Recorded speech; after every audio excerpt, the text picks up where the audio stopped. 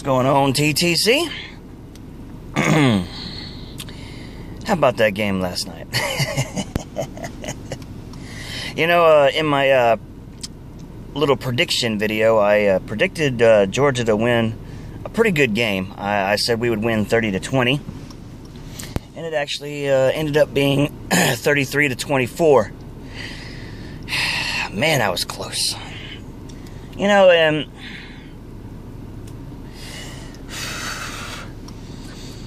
a lot of what happened in this game, you know, I, I actually kind of kind of saw it, you know, happening the way it did. Uh, I know I waited until the the day before the game to make a video, but for those of you that uh, have me on Facebook, you know that I had some concerns going into this game. You know, uh, we've got a very young front seven, and for the most part, last night, holy shit! I mean, they played out of their minds. Um, we held their uh, two two good running backs, Elijah Hood, and uh, the other one was last name was Logan, I believe.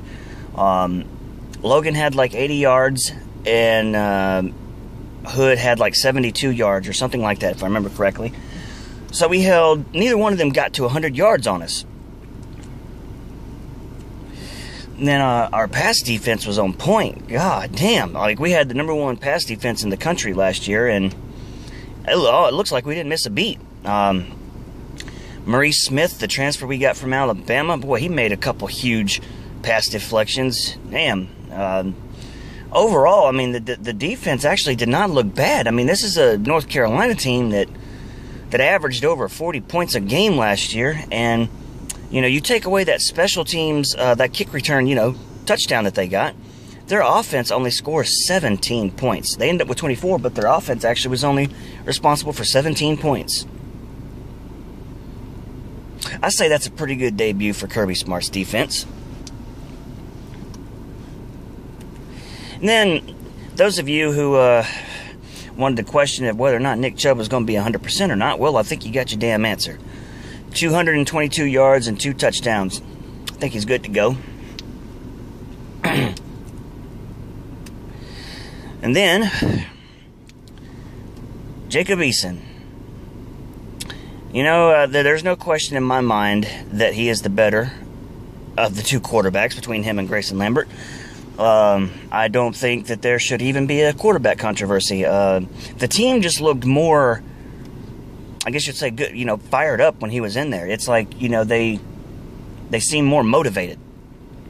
Um, Jacob Eason hit that long 51 yard bomb. There's no way in hell Greyson Lambert would have made that throw. No way. No way in hell.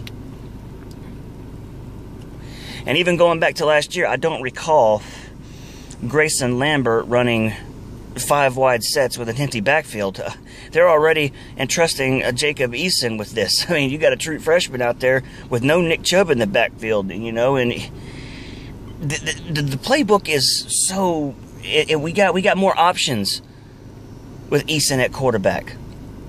You know, with Greyson Lambert in there, it's like we're really limited. You know, we got Nicholls State this next week. I don't want to see Greyson Lambert touch the fucking field.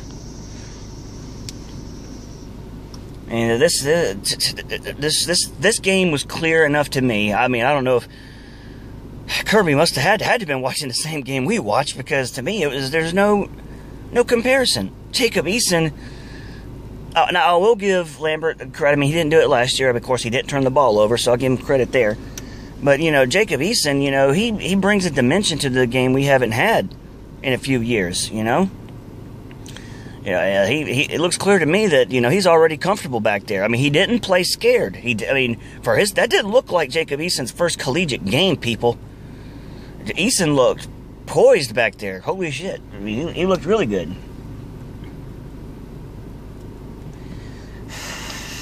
I mean, don't get me wrong. We got some things we got to work on. You know, pass protection has to get a little better. Now, granted, uh, when Greyson Lambert was in there this is one of the things I hated about Greyson Lambert, man. He don't know how to progress through his reads. And on a couple of those sacks, he should have threw the ball away, man. He, he held on to that ball way too long. But that offensive line does need to get a little better in pass protection, no question about it. Um, I said our, our defensive front seven is really young. They're, they're going to get better. You know, give Kirby time to to develop the guys. I think he already did really good for that first game, but you know we're going to get better there. And our special teams, you know, we're going to have to get seriously better on special teams. Um, the kicking game has got to improve, got to improve. And then uh, we got we got to improve on that special teams coverage too because we gave up that kick return for a touchdown. That shit's got to get better. But you know, we actually got a win against a good quality opponent, and uh, from here we just move forward. You know, next week we got Nicholls State. Um, think it's a good chance for uh, Eason to play the whole game and work on some things. But uh, that's about that's about all I got. Just wanted to do a quick little recap here. So uh, I'm not didn't talk uh, no shit with no North Carolina fans on here. Uh, a couple on Facebook I talk shit with. Uh, already already gave them a piece of my mind after the game, so that's done. But as far as YouTube is concerned, no shit talking here. So, um, till next time, uh, we will holler at you guys later, and go dogs.